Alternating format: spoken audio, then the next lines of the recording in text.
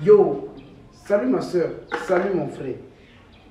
Pour connaître son véritable âme sœur, lorsqu'on parle des questions d'amour, on se rend compte qu'on se fait toujours piéger.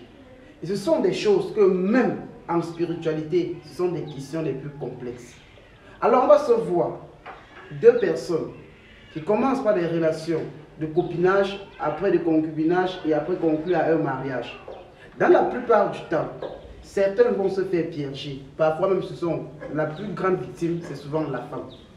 Et quand je parle de la plus grande victime, vous allez vous rendre compte que une femme qui est avec un mec et qui vont faire 10 enfants, même deux enfants, qui vont vivre pendant 5 ans, 10 ans, 15 ans, 20 ans même de mariage ou de copinage ou de concubinage, bien après, comme ils ne sont, comme elle n'a pas vérifié si son mec ou alors son mari ou son meuf, s'ils sont, s'ils sont compatibles, elle va se rendre compte que après même 10 ans de relation, le mec ou le mec va lui laisser pour prendre une autre femme. Si elle a la malchance et qu'elle arrive, qu'elle a par exemple 45 ans, 50 ans, et que le mec a 75 ans, le mec peut prendre, comme je te le dis, une autre fille de 15 ans. Mais toi, meuf, qui a peut-être 45 ans, 50 ans, est-ce que tu vas rentrer en arrière avec des enfants qui t'ont parfois même laissé Prendre un jeune homme de 15 ans ou de 20 ans? Ça, c'est horrible. Et ça, c'est absurde.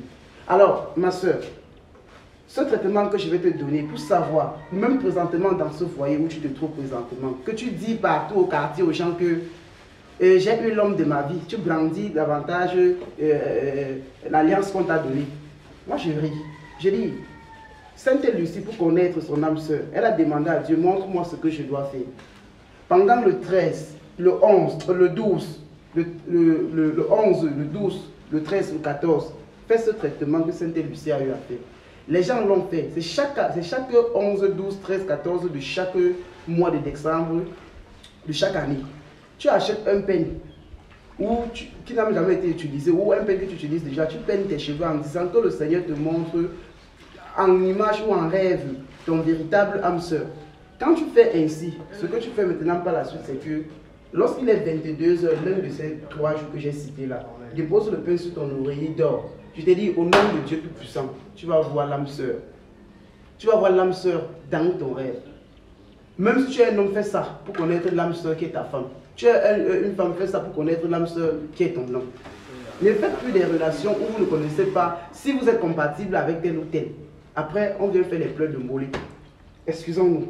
Alors, comme cadeau, il y a ton passeport d'attirance qui est déjà disponible à Libreville et dans les quatre coins du monde entier. Voilà un miroir magique qui fait des miracles. Depuis Libreville, je vous aime.